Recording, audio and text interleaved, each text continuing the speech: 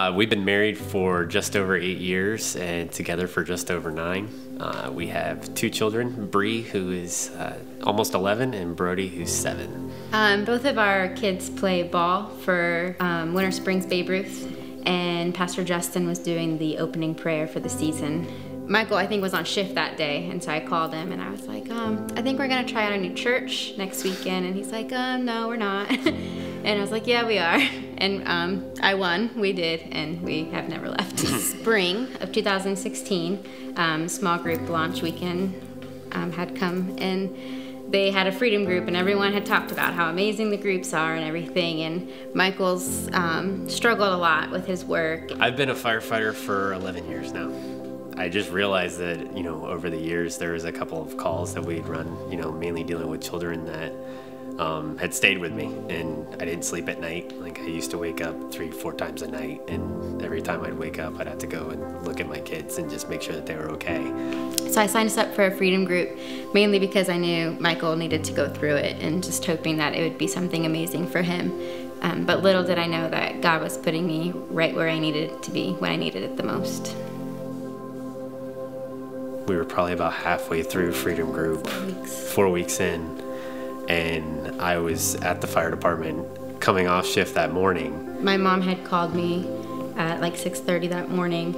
I tried calling her back and she didn't answer and trying to figure out what's going on and then as finally about an hour later she finally called me back and she told me that I needed to come over cuz my dad had just been arrested for child pornography.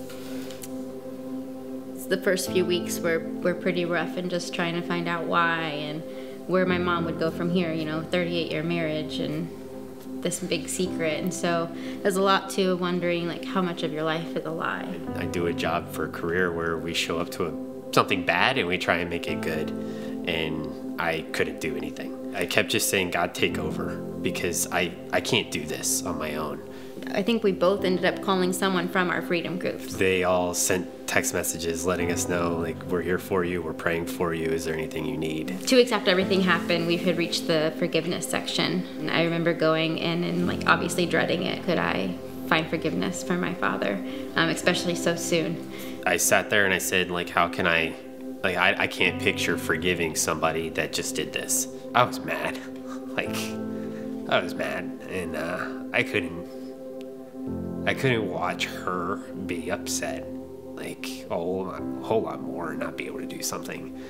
And so then I started praying about it and I got to the point where I realized that the one thing that I can do that can help her is I can forgive her father and I can make something better of this.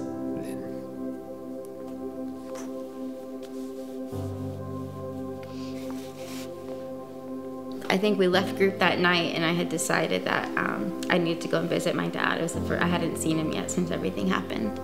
Um, I made an appointment, and a week after that week, I had gone and visited my dad for the first time and saw him eye to eye, and um, just let him know like I did forgive him, even though we still didn't have the answers.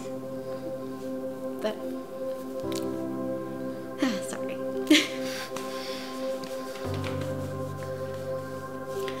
And so um, that one visit actually led into me going every single week to visit my dad. And once he got his sentencing and found out he was going to be um, transferred to a state prison, um, sat and prayed a prayer of salvation with my dad over a payphone and brought him back into a relationship with the Lord. So. So the whole time during our freedom group, everyone said, You have to go to freedom retreat. You have to go to freedom retreat. We went and it was amazing. when you walked in, you knew that it was like, this is a special place right now. So each session covered the topics, you know, that you already covered throughout the study, but then you would go up to the prayer line and, um, and kind of just, that was where you had a chance to release it. Just the the weight was just lifted off your shoulders after every single session. Every session you went back to your chair just feeling lighter and lighter. there's no doubt that God had us.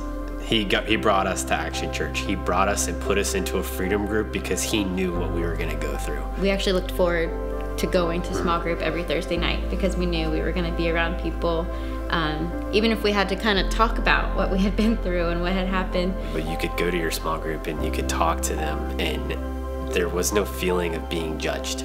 Having a support system through the small group was was amazing. If we didn't have action in our lives, and had we not been in a freedom group when all of that stuff happened, then I I don't know where we'd be.